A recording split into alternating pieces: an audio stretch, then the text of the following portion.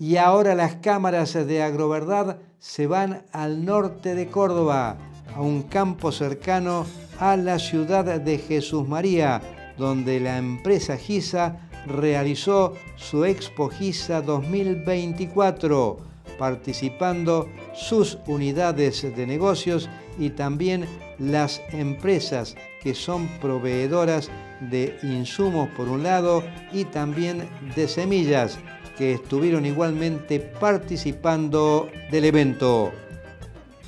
Con uno de los ejecutivos de GISA, nuestro enviado especial tuvo esta charla.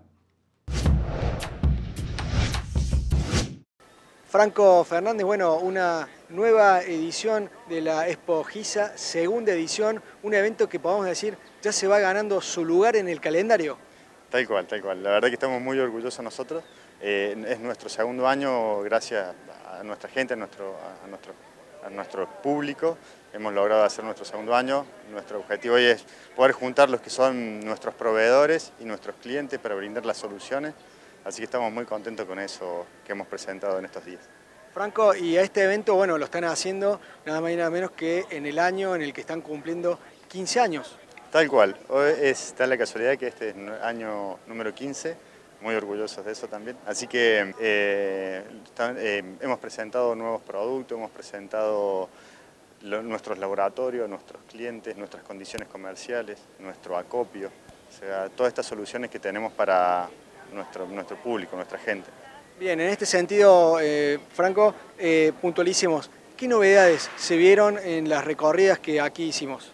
Bueno, lo que vimos acá es, presentamos eh, variedades de soja, presentamos híbridos de maíz y una de las novedades que estamos charlando ahora de cara a lo que viene la siembra de trigo son presentar el nuevo gen HB4 con nuestros semilleros, hoy estamos con BioSerie y otros, otros semilleros más, somos multiplicadores.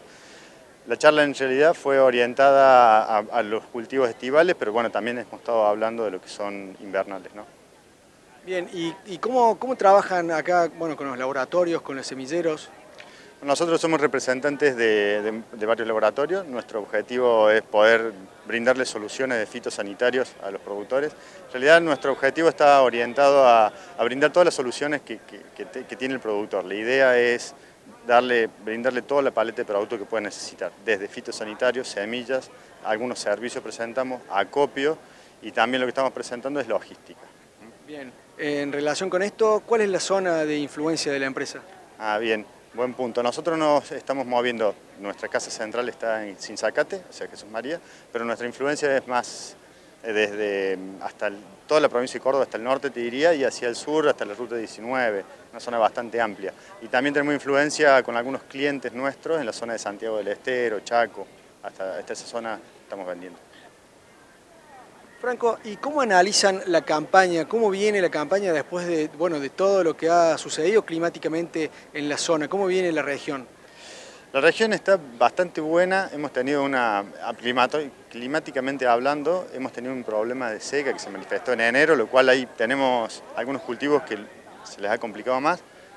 Creo que de, con común conocimiento hemos tenido un problema de chicharrita hoy en día, que, bueno, que es una enfermedad que transmite una enfermedad, es vector de una enfermedad que, bueno, no se conoce mucho y vemos que está haciendo efecto, vemos que está avanzando.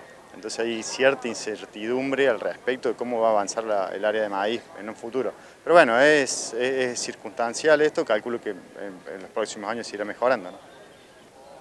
Y en lo que respecta a cultivos invernales, ¿qué nos podés eh, especificar? Bueno, hoy con el tema de cultivos invernales estamos viendo las precipitaciones otoñales que nos cargan los perfiles, pero bueno, en base a eso nuestros objetivos son poder dar, dar productos para la siembra de tanto de trigo, garbanzo, eh, somos, somos exportadores también de garbanzo, entonces armar todo el combo eso. Y en cuanto a trigos, eh, bueno, como te nombraba antes, tenemos la presentación del, del gen nuevo, este HB4.